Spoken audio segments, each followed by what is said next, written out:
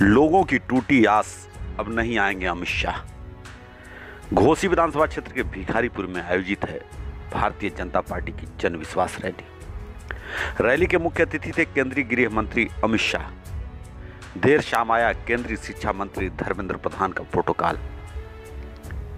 अब जन विश्वास रैली के मुख्य अतिथि होंगे शिक्षा मंत्री धर्मेंद्र प्रधान। बताते चलेंगे घोसी विधानसभा क्षेत्र के भिखारीपुर, विक्रमपुर गाँव में आज यानी मंगलवार को भारतीय जनता पार्टी की जन विश्वास रैली आयोजित है, जिसके लिए प्रशासनिक अमले के साथ साथ भाजपा के शीर्ष नेता भी पिछले दो सप्ताह से तैयारी में लगे हुए थे। इस जन विश्वास रैली के मुख्य अतिथि थे केंद्रीय गृह मंत्री अमित शाह।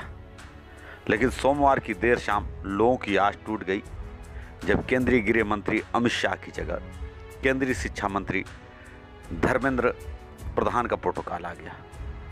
अब भिखारीपुर में आयोजित भारतीय जनता पार्टी की इस जन विश्वास रैली के मुख्य अतिथि केंद्रीय शिक्षा मंत्री धर्मेंद्र प्रधान होगा तस्वीरों में हम साफ़ देख सकते हैं इस रैली को लेकर कितनी तैयारी थी।